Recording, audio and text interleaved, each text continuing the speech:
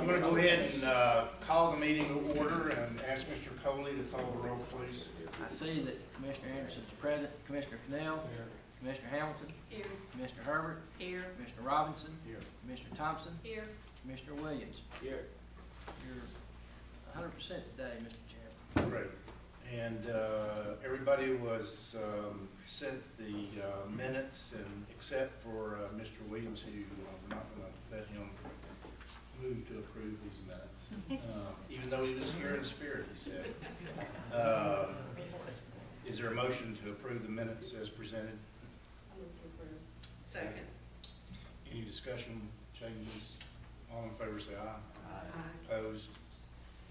Uh, First item of business are, uh, I guess, are we, are we gonna talk about these as a group or vote separately? Um, All the resolutions, uh, twelve ninety through twelve ninety-four. Uh, Commissioners, I'll remind you that in April, we had a lengthy presentation on our five-year plan as well as our budget. But since Commissioner Anderson wasn't here, we're going to summarize that today and then uh, offer the resolutions. No, I mean, Williams wasn't here. He was here in spirit, but he didn't see the, the information, so. Bruce wasn't here either, he was I was, she's talking about when I was asleep. Yeah. That part of it I missed. All joking aside, Mark will summarize uh, the presentation and then offer the five resolutions for your consideration. Commissioners, today we do submit for your consideration the budget for fiscal year 2014 in addition to three, three funding recommendations for the proposed budget, which include a gas margin increase and bond issues for the gas and water systems. And just to let you know, the, the budget information we'll share with you this morning, the details, and also going through the funding recommendations, all that information is consistent with what we provided to the board at the April meeting.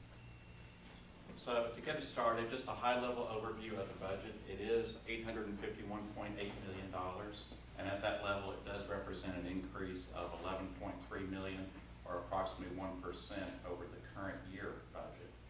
What's driving the increase? We have two major substation projects, actually new substations, that will be under construction next fiscal year, um, the Cherokee Trail Substation, and then also a new in-feed substation in East Knoxville. Um, Also, some labor-related expenditures are higher than the current year, um, including uh, pension contribution that will be $2 million higher than the current year.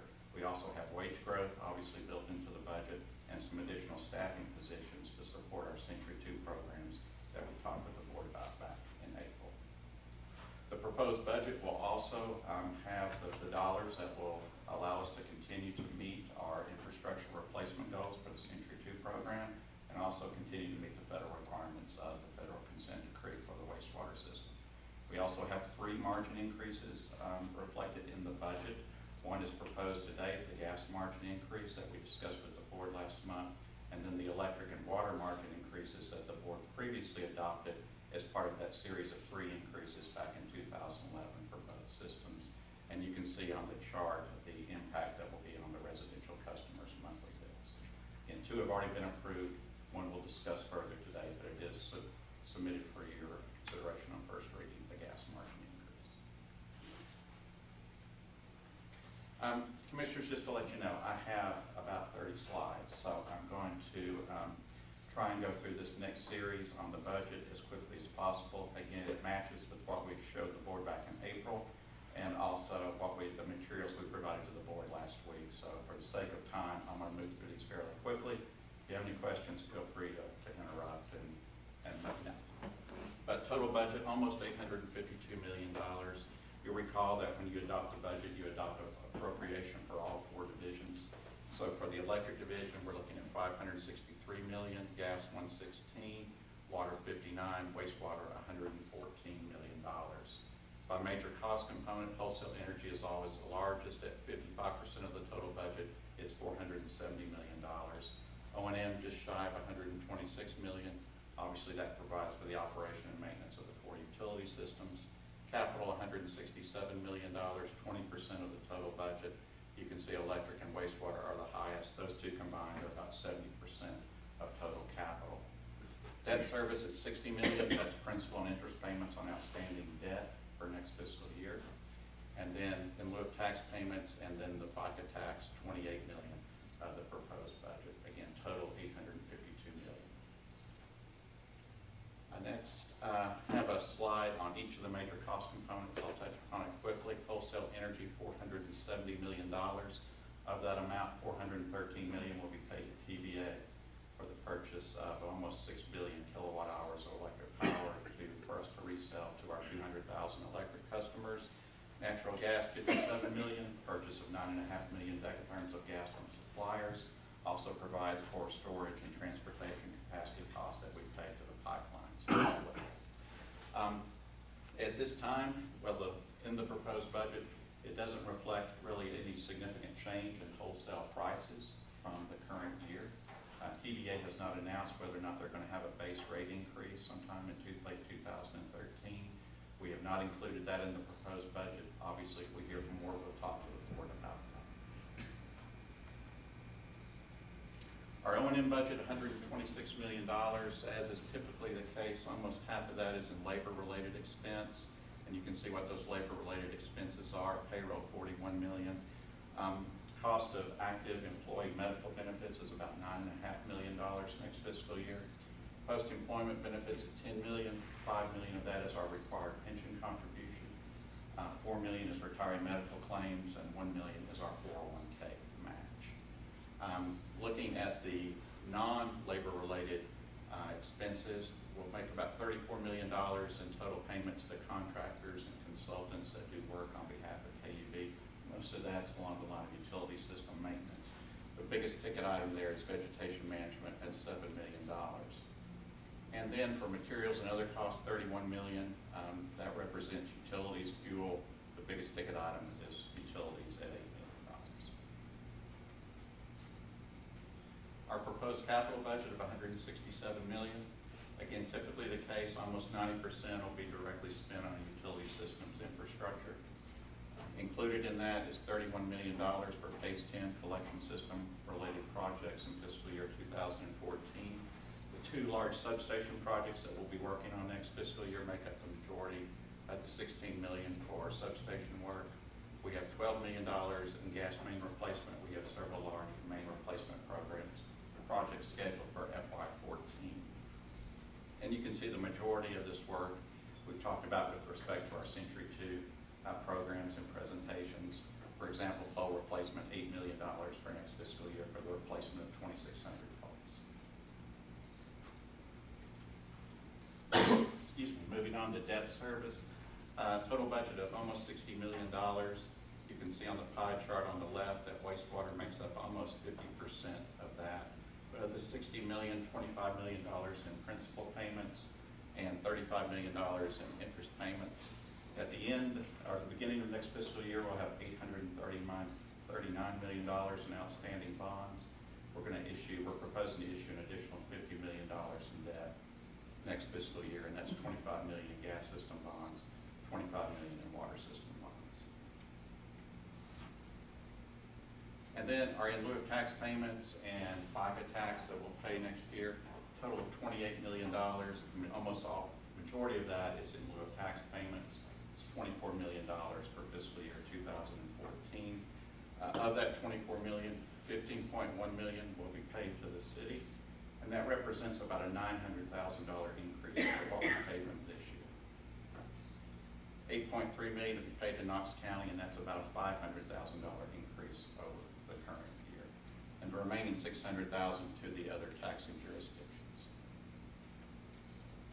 Commissioners, the next chart, since we're on the subject of tax equivalents, um, we did include this on that cost management handout we gave you at the April meeting, but we didn't talk about it in detail at the meeting. But um, it does show how our tax equivalent payments have grown over time, going back to 1994 to what they're projected to be in 14. And you can see, back then, it was approximately $10 million total in 94. Next year, it'll be $24 million, growth of $14 million over that period of time. That's an annualized growth rate of four and a half percent, which is almost double the rate of inflation over that period of time. And if you compare it, the black line shows what the pilots would have been if they'd just grown at inflation, and the difference between what we've actually paid, paid and the inflation adjusted is seventy-five million dollars over twenty years. So, really, the, the point being that the pilots, that has continued to grow over time, and it has put, obviously, some rate pressure on, cost pressure on KUB. We've been able to successfully manage most of that, but when you compare it to how our other operating costs have grown over time, it's almost double that rate. So just really wanted to provide that for your information, so you can see that pilots do have an impact, obviously, on our financial position. Any questions on that? Yes, sir. In uh, ninety-four, do, do we know what our total budget was? I, I'm, I'm just looking for kind of a percentage, because we're at about twenty-seven million, we're at about, seven, eight percent of our total budget? Is it little thing? Something? It's about five percent. Back then, it would have been a higher number. I don't know what it is, Commissioner, off the, off the top of my head. Um, I do know as a percentage of revenue, pilots has grown a little bit over time. Um, I remember probably around, excuse me, going ahead. Back in here, it was probably around two percent of total revenue. Now it may be closer to three percent. But I can, we can get that information for the board if you wish, provide. I mean, is there, that's a reflection of what we own, is that right? It is a reflection of our capital investment. And so, a, a big part of this then is, is phase two project. PACE ten project, it is, it is a component of it, that's correct.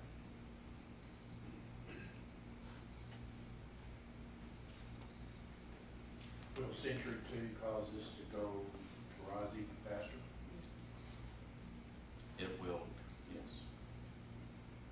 We'll continue to see it growing probably at that rate of four and a half to five percent.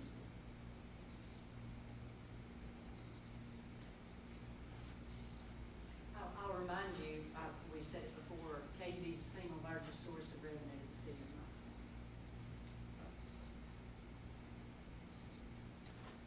Commissioners, this chart reflects how the proposed budget for 2014 will be funded. And if you look at the pie chart on the left, we are projecting total revenue next fiscal year of $750 million for all four systems combined. You can see by the pie of where that revenue, what that revenue will be used for. And the majority of it will be used to fund the proposed budget, including 43 million for the uh, capital program. Capital next year, as we talked about, 167 million. 43 million will come from revenue generated in FY '14. 50 million will come from the proposed bond issues, and 74 million will come from uh, general fund cash. Now, that number may seem a little high to you, but basically what it represents is system revenue for the electric and wastewater systems for the current fiscal year. Both those systems had large bond issues this year to fund their capital programs, so the revenue built up some in cash to be used next fiscal year to fund the capital program. And that's basically how our financial plans tend to work. Uh, so if you really look at the, the mix between system revenue and debt, this right here really represents system revenue just from the current year. So it's really a 70-30 split, revenue and debt for the capital program. Does that make sense? Probably some of the smarter people. Are I they sort of got lost in there somewhere. So, um, explain the seven, thirty split. Okay, I was just looking at, um, of, uh, how the capital program is funded, gonna be funded next year, looking at revenue and debt. Debt's thirty percent, and if you add the twenty-six and the forty-four, there's your seventy percent. Because really, this just represents system revenue from another period of time. So if you're looking at an equity debt of how your capital's funded, that's what I meant by seventy thirty.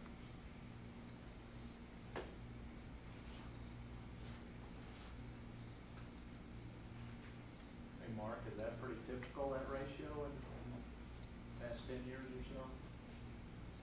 It 70, varies, it varies. Um, it's, going to be probably more of a 60/40, uh, 40% debt, 60% equity. And those years when we're showing a wastewater system bond issue, they typically run in the 60 to 65 million, so it might be a little bit higher in those years.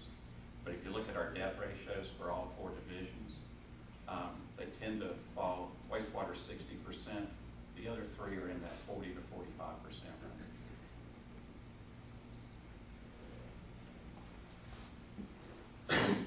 Commissioners transitioning and now talking about the funding recommendations for the proposed budget. Uh, They do include the gas margin increase that we discussed with the board, also two bond issues, and then we have our annual request for a line of credit for the gas division to help us manage the seasonality of cash flow for the gas system.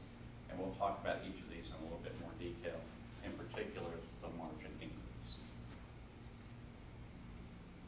And as you know, we originally scheduled this increase for back in 2009. It has been deferred four years thanks to savings from our recession response plan. And that savings has resulted in total savings for gas system customers of 22 million over that four-year period, about five and a half million per year. For the average residential gas customer over that period of time, they've saved $150 as opposed to if we had increased it in 2009 versus 2013. The increase is designed to generate an additional five and a half million in annual margin or revenue to help support system. And we have structured it in a way that it will add $3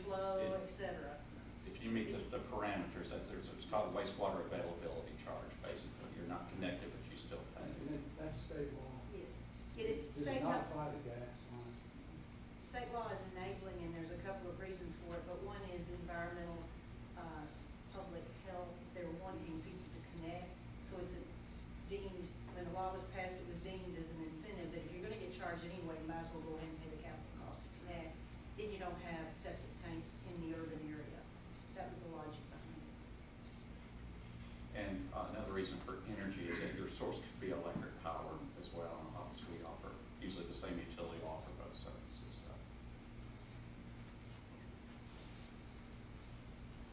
Commissioners, we do show this chart to you back at the April meeting, and just as a reminder, what it does show is KUB's portion of a residential customer's monthly gas bill and how it has changed over the last 20 years. And if you go back to 1993, 1992, our portion of the bill was $15. And we have had uh, three increases over that period of time. In October of 95, we added $1.50 to the bill. In July of 2002, we added $3 to the bill. And in October of 2007, approximately another $3 to the bill. So today, it's about $22.90, our portion of the monthly bill, our margin, what we use to fund our distribution system costs, O&M capital, et cetera. The black line represents what the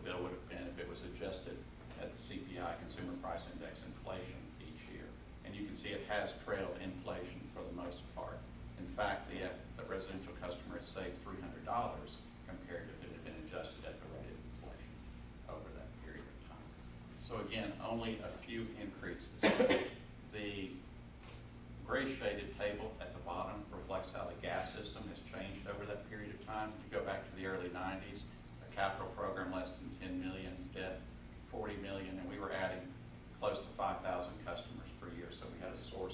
sources of revenue coming on each year. What has happened over that period of time is our capital program has doubled, and in fact, if we took this out and went out to 14, 15, 16, we're gonna have a capital program that's consistently over twenty million dollars. Um, The debt level has risen to help fund the capital program, of course, but the new source of revenue has dropped off, and even in two thousand eleven, we had a net decrease in customers, and- and we talked about that last month, though it is beginning to pick up a little bit. It's nowhere near what it was back in the mid to late nineteen nineties. So consider that, and also consider the fact, again, we showed this last month, but mild winters have had a significant financial impact on the gas system. In fact, we've quantified it, and we've lost about thirty-five million dollars in margin over the last twenty years because of mild winters, and you can see eighteen out of 20, 90 percent have been warmer than normal. And the big daddy of them all was in two thousand and twelve, when we lost about six, six and a half million dollars in margin for that. So you remember this, and you go back and you think of capital program's been, has more than doubled, new sources of revenue have dropped off, and you've got the significant impact of the mild winters. I think it is um, sort of a a testament to, in part, our cost management over time, that we've only had um, a few increases over that 20-year period. Because there certainly has been a lot of financial pressure on the gas system to do more than that, but we've been able to manage the majority of it. And I know we talked about last month, obviously the gas margin increase is designed to support investment in the system. Here just listed out some of those programs. And as Julie talked about last month, the completion of the cast iron ductile iron program, we're moving that from the system over the next couple of years. We have about thirteen million dollars in our gas capital plan to do that. Uh, replacement and corrosion protection for our steel mains, we have about thirteen million dollars in the capital plan for that as well. One of the largest gas system projects in recent years is that replacement and upgrade of the gas transmission line down Alcoa Highway, a stretch of about eight miles. We've already spent several million dollars on that. There'll be another seventeen million spent over the next three years. And then a new um, expenditures that we added to the plan this year was the development of the new regulatory required distribution integrity management programs, or we call them DIM.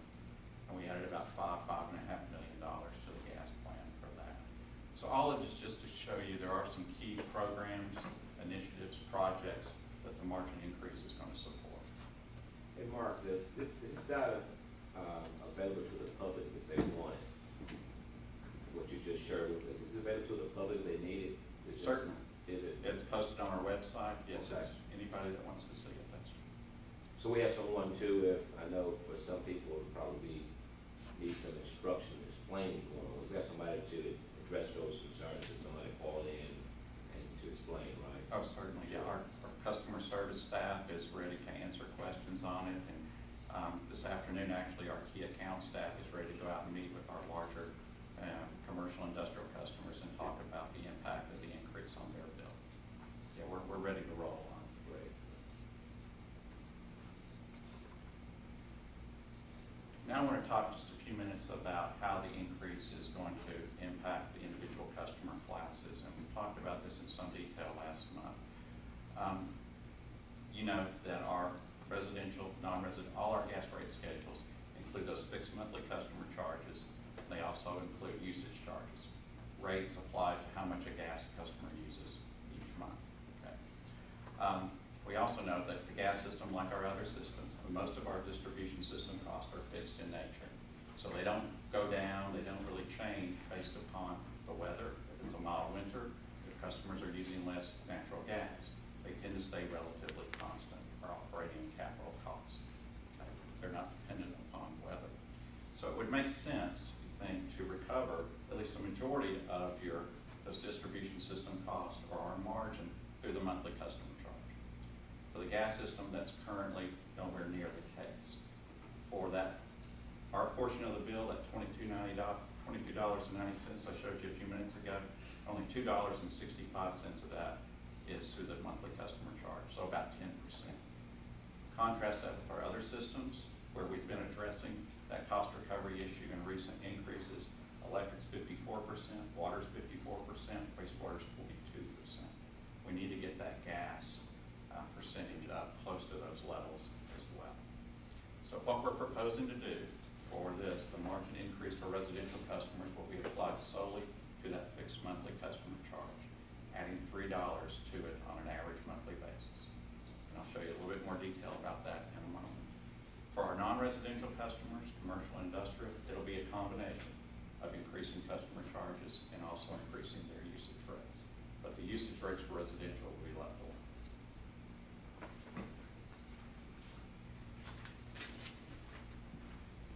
Commissioners, this chart compares our average monthly residential customer charge with a host of other gas utilities, local and regional. And you can see currently we're the lowest among the group of twelve at two sixty-five. We're also a bit of an anomaly with this group in that they all charge a year-round customer charge.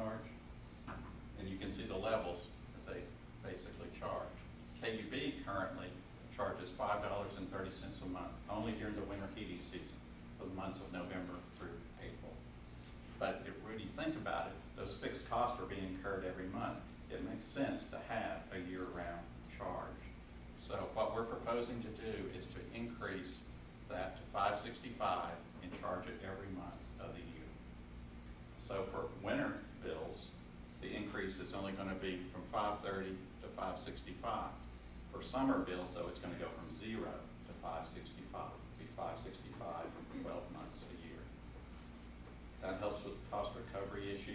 Also makes ours consistent with how everybody else is doing. Okay. Any questions on that? Does the math work out that it's a three dollar Yes, sir. on average? Yes, sir. Because the two sixty-five is taking the five thirty, converting it to an average monthly bill, and then there's your three dollar increase. Um, this is probably a question you may not have an answer to, but if, how many new customers would we have to add to, to, uh, equal the five and a half million dollar at this rate increase? I mean, the margin, how many new customers we have to have to generate five and a half million dollars in margin? Good question. Um, Of course, there's going to be an in- increased capital cost to some degree of bringing those on the system as well, but ignoring that for, for the moment. Um, let me see.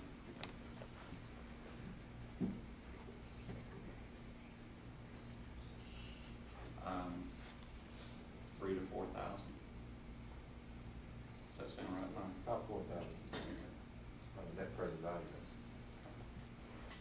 So you had a calculator behind your back and you did that, right? See, that was a magic. Mike's the walking calculator, so I just refer to him. Would we go online if, if this works out as a, better than normal year, better than last year, two thousand eleven, what do we, how many customers do we want? Six hundred, seven hundred. We don't see going back to those four thousand, five thousand levels um, anytime in the foreseeable future.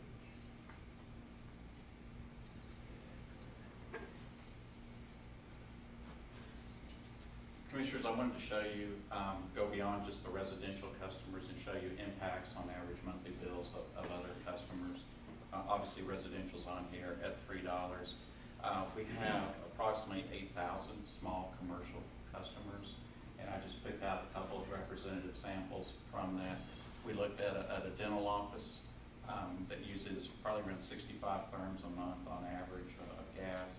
Their monthly bill, ninety-two dollars, the increase would add six dollars to their monthly bill, so it'd be ninety-eight. Um, the actual average usage for that customer class is a pizza delivery shop, and their monthly bill is currently three hundred and ten dollars. The increase would add fifteen dollars to their monthly gas bill. And then when you get into the larger commercial industrial customers, um, our other rate class, our restaurant, current bill of around thirty-one hundred dollars, the increase would add hundred and fifty dollars to their monthly bill. And then we looked at a medium and large size manufacturing firm, obviously they use more gas, their monthly bills are larger, so the increase on their monthly bill will be, um, larger as well in absolute terms, but not on a percentage basis. Amanda, who are the large gas customers in general? UT or the hospitals or? The, the largest customer we have is University of Tennessee, system supply customer. The majority of our large industrial customers actually transport on our system. They don't buy their gas from it's delivered here, and we simply transport it on our system. So their absolute bills are not that great compared to, say, a UT, but they're buying their product from somebody else, and that's the majority of their bill. In total, it's about the same, probably, but who they pay it to is different. So how many approximately do we have in the large that, that would be affected? In this range, we have about three hundred and fifty. In the medium and large, or just the large? Um, it's, just all- it's all? all really Okay. one rate class. I picked out from our large commercial firm class, we have about 300, 350 total. And that, have we notified them, do they know? The, the largest customers will be notified this afternoon as far as. We're waiting for the board's action. Right.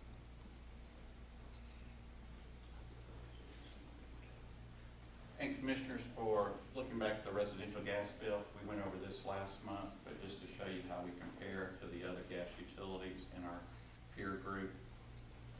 This chart shows it really on a, what I'll call an even playing field with respect to the interstate, pipeline impact. We talked last month about how geographic location can cause some of these utilities to have to transport on multiple pipelines, so there's some additional cost. That downstream pipeline impact has been stripped out of this comparison, so everybody's sort of on a level playing field from that perspective. See where KUB is, right at the middle of the pack. If you add the six dollars, and we've estimated, we know for KUB, the cost of that downstream pipe is six dollars on our monthly bill. We've put the six dollars on everybody else that falls into the same position as well. And you can see how the monthly bill comparison changes. And then when we add the three dollars for the KUB margin increase, you can see how we compare to the other utilities.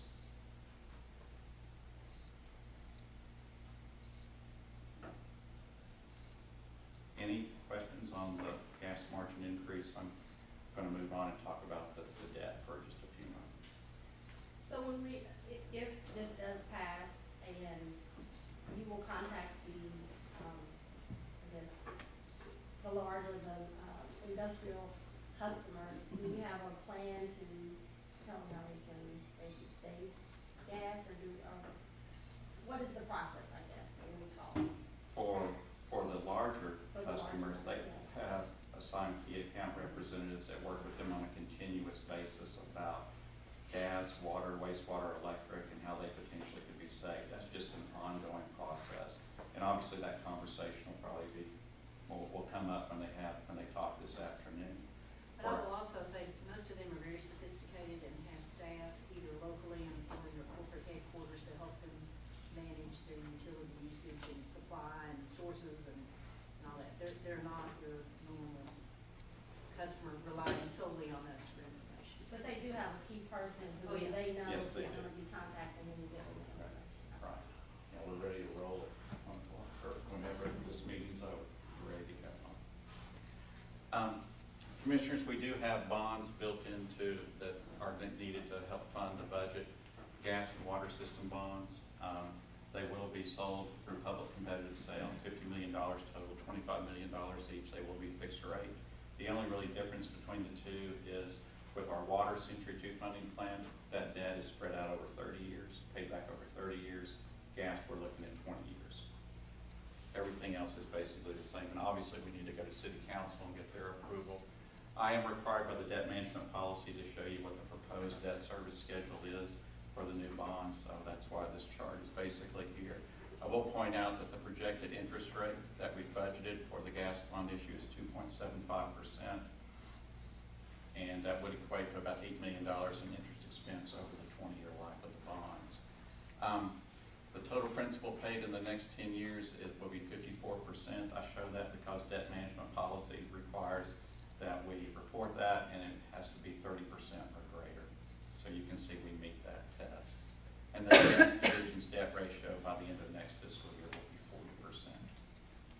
And this graph basically shows the yellow is existing debt service, the red is new debt service, so you can see it's roughly a levelized payback for that bond issue. Even though we go to city council for approval, it doesn't show up in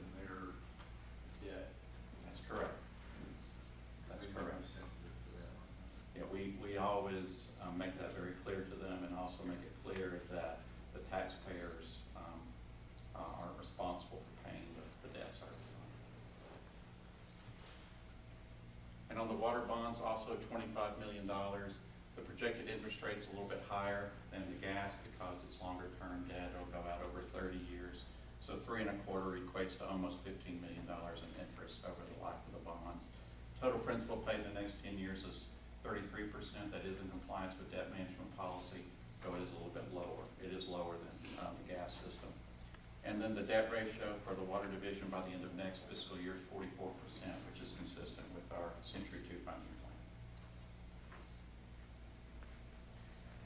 And I also want to show you just what the estimated costs are for issuing, selling the gas and water bonds. You can see the various firms that we intend to use to assist us in the sale of the bonds. The estimated cost in total is two hundred and twenty thousand dollars, which is four tenths of one percent of the par value of the bonds, which is good, very competitive, consistent with past debt transactions.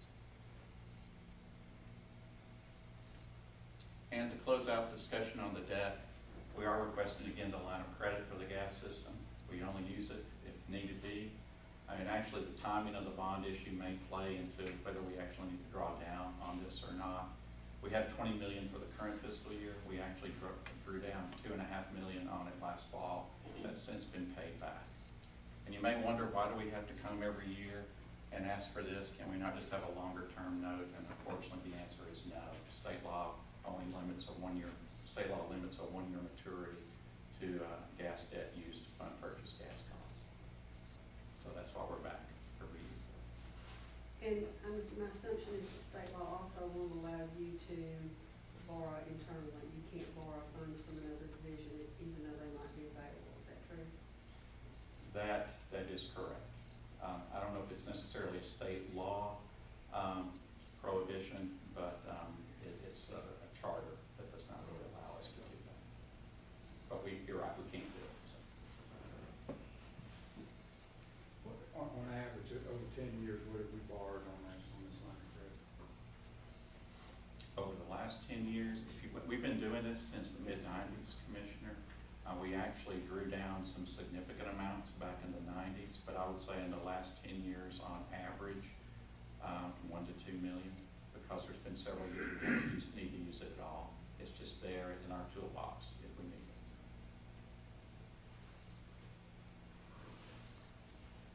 And Commissioners, really to close out, um, you also, while you'll be asked to adopt budget appropriations, we also need you to adopt commitment appropriations for FY fourteen, and that simply covers contracts that'll be executed next fiscal year that commit KUB to expenditures beyond next fiscal year.